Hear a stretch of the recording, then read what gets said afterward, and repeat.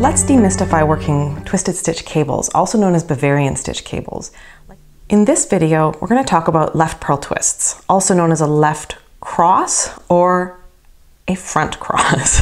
so what we're going to do is we want this stitch to travel to the left. The reason it's called a left purl twist is because there's a purl stitch involved. It's not two knit stitches, it's a knit stitch and a purl stitch. So in a left purl cross, we're going to grab our right needle tip and going from behind, we grab the second stitch.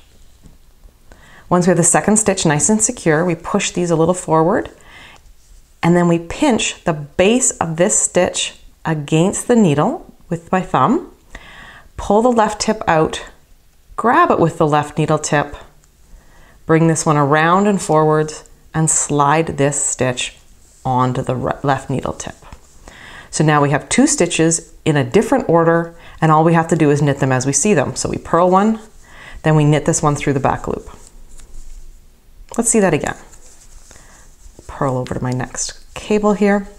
So I'm going to go in through the back of the second one and secure that stitch. Then I push everything towards the edge to make this a little easier. And I pinch the right two stitches with my thumb against the needle, grab that free stitch with the left needle tip, bring this one around, place it on the needle, and now I work them as I find them. Purl one, knit one through the back loop.